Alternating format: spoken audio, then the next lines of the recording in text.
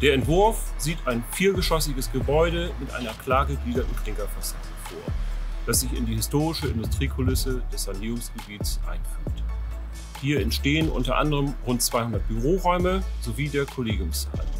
Durch effiziente Dämmung, Erdwärmepumpen und Photovoltaikanlagen würdigt der nachhaltige Entwurf das Ziel der Stadt Emshorn, klimaneutral zu werden. Bei mehrfachen Beteiligungen haben wir die Anregung aus der Bürgerschaft zu Themen wie Nachhaltigkeit oder Nutzerfreundlichkeit bei der Rathausplanung mit aufgenommen. Mit dem Neubau können die meisten Kolleginnen und Kollegen endlich wieder im selben Haus arbeiten. Durch den Standort am neuen Buttermarkt beleben wir das Sanierungsgebiet. Durch den Bau setzen wir ein sichtbares Signal für weitere Neubauten von Investoren. Für die Bürgerschaft bedeutet der Neubau, sie werden die meisten Ansprechpersonen der Stadtverwaltung wieder zentral an einem Ort mitten in der Stadt vorfinden.